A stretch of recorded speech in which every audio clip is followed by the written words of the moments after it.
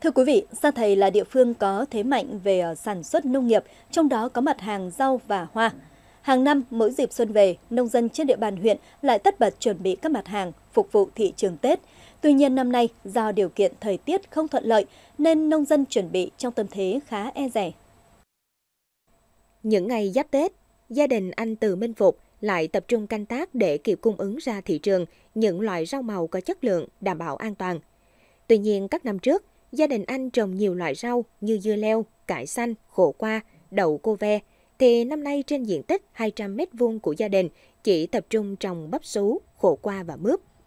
Để các loài rau phát triển tốt, bảo đảm đạt năng suất cao và an toàn thực phẩm, anh Phục thường xuyên kiểm tra tình hình sâu bệnh, chú trọng khâu tưới nước, làm đất, ủ phân. So với năm ngoái thì năm nay chỉ tập trung vào cây xú sú và cây khổ qua. Thì à, Ờ. thị trường bây giờ cây sú thì khoảng chừng 15 ngàn một ký, thì có thể Tết thì có thể lên được 20 ngàn một ký. Nên gia đình cũng tập trung vào à, phát triển cây à, cây sú. Thì à, cũng mong muốn thì đặt năng suất cây trồng cũng như là cung cấp được cái lượng lương thực thực phẩm để cho địa bàn huyện cũng như là tỉnh tại, tỉnh mình. Giá cả thì cũng mong muốn là ổn định hơn năm ngoái để cho gia đình à, được à, mùa vụ à, bội thu. Hơn 40 năm gắn bó cùng nghề trồng rau, ông Phan Lương ở thôn Hòa Bình, xã Sa Nghĩa, huyện Sa Thầy được nhiều người dân biết đến với mô hình trồng rau an toàn. Hiện nay, vườn rau 2.000 m2 của ông trồng hơn 10 loại rau củ quả như rau cải, rau muống, xà lách, mồng tơi, bí, bầu, khổ qua, dưa leo và các loại đậu theo quy trình kỹ thuật Việt Gáp. Tuy nhiên năm nay, thời tiết nắng mưa thất thường nên việc trồng rau của người dân gặp khó khăn, dẫn đến lượng rau phục vụ thị trường Tết sẽ giảm so với mọi năm. Năm nay là so với cùng kỳ năm ngoái và cót năm á, thì thời tiết là không được thuận lợi lắm, mưa gió bất thường nên làm rau là nếu mà làm ở ngoài thiên nhiên tự nhiên là khó, chỉ có làm trong nhà nhà bọt, nhà lồng, nhà lứ thì là tương đối đảm bảo được khoảng 7-80% do vì thời tiết.